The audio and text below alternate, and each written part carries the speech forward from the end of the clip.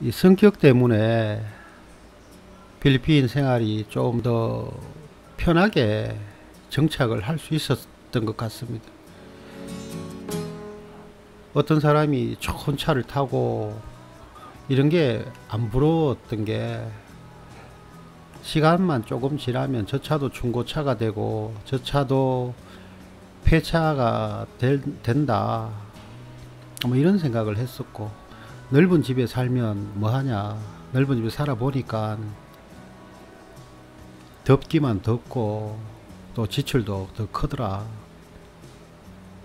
또 이런 생각을 하게 되니까 굳이 뭔가에 대해서 물건에 대한 욕심도 없게 되고 그런 마음으로 사람을 만나니까 사람들한테 주눅도 안 들고 그 사람이 어떤 배경이든 뭐든 뭘 하고 있든 있는 사람이든 없는 사람이든 그냥 편하게 똑같이 대하고 하니까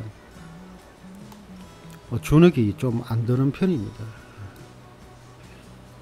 그래서 필리핀에서 좋은 사람들도 많이 만나게 됐고 그 관계가 지금까지 유지하게 됐고 또 부탁을 하는 일이 단체 일을 하면서 부탁을 많이 했는데 그 사람들도 단체에서 무료 봉사 단체라는 걸 알기 때문에 그 사람들이 도움을 주고도 제가 중간에 부럽 거란 느낌을 안 줄 수 있었고 그 세월이 이렇게 많이 지나고 나는 비즈니스만이 아니다 라는 걸 아니까 필리핀 친구들이나 여기서 만나는 중국 친구들이 밥도 사고 술도 사고 또 집에 갈 때는 뭐 차비라도 있냐 라고 얘기하는 친구들도 있고 일단 필리핀에서는 한국 사람들이 있는 사람 없는 사람을 기똥차게 압니다. 한국 사람도 마찬가지고 한국 사람 집에 놀러 갔는데 집이 아주 크고 좋고 이러면 아유 뭐 그 사람한테 주눅 드는 사람도 있고 저는 큰 집에 살면 아이고 지출이 많을 건데 수익이 안 나면 걱정인데 이런 생각이 들 안쓰럽습니다.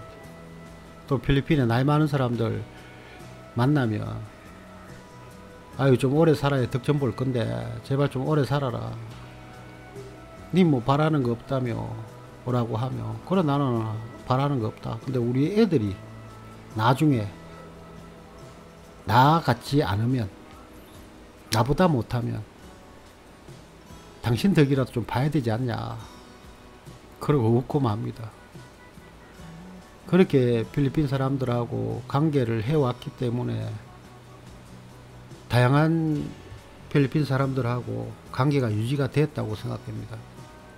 필리핀에 와 계시는 분들 필리핀 사람들은 전에도 영상 하나 할 때 필리핀 사람들하고 인간관계 하는 부분에서 하나 올렸는데 일단 목소리를 크게 지르면 안 됩니다. 내지르면 안 됩니다. 없는 사람들은 소리 지르고 하는 것에 익숙하지만 그래도 필리핀에서 필리핀의 한 축을 담당하는 사람들이라면 그런 부분에 익숙하지 않습니다. 그런 사람들도 사람을 부리는 사람이기 때문에 필리핀 사람들 만날 때는 차분하게 뭐 영어가 짧더라도 항상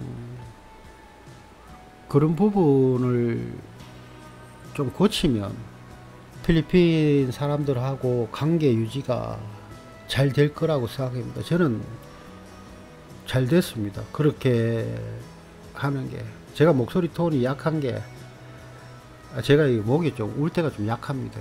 그 소리 지르고 이러면 금세 목이 쉬어버리니까 근데 그게 나중에 보니까 장점이 장점이었습니다. 장점과 단점이 바뀌면